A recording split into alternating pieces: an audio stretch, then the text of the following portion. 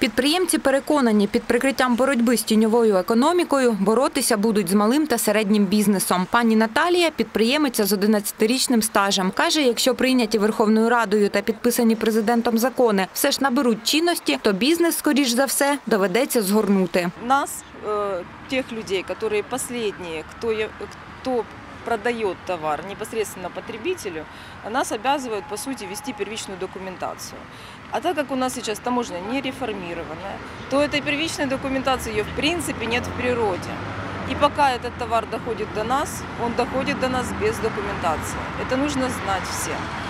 И получается, что мы вынуждены делать? Мы будем вынуждены покупать ее и становиться, по сути, провоцировать коррупцию? З десяток автівок вирушили з лівого берегу Дніпра на правий. У такий спосіб прагнули привернути увагу суспільства до проблем, з якими зіштовхнулися підприємці. Вважають, результатом нововведень стане підняття цін на товари і послуги. Частина додаткових витрат ляже на плечі споживачів, кажуть бізнесмени. З цим не погоджуються у партії Слуга народу, яка була ініціатором законодавчих змін.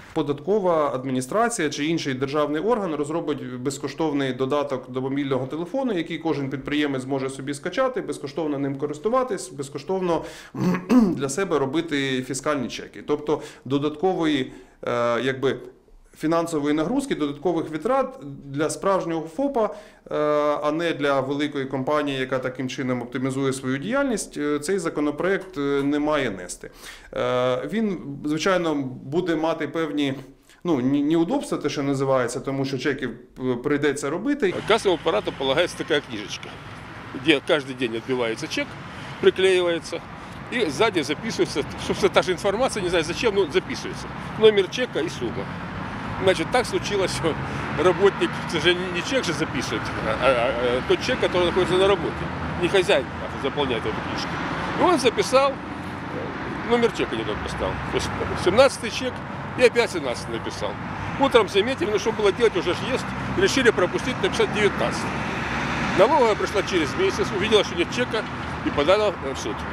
70 тысяч насчитали штрафных санкций. Я ему объяснял, ребята, гляньте, это уже два 17 поэтому нет 18 Нет, вел суд, два года я судился. У громадській раді, що при обласному управлінні Державної фіскальної служби, також не розділяють побоювання підприємців. Кажуть, якщо йдемо в Європу, то маємо вчитися грати в білу. Якщо ти десь там на Врославській площаді в Празі візьмеш кофе, то розносчик кофе з маленьким чековим апаратом дасть тобі чек обов'язково.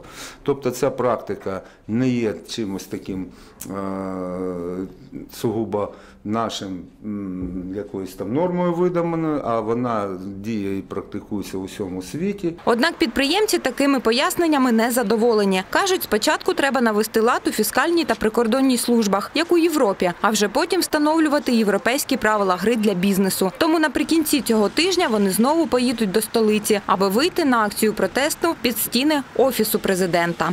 Юлія Мельниченко, Олександр Вернигоров, Open News, телеканал відкритий.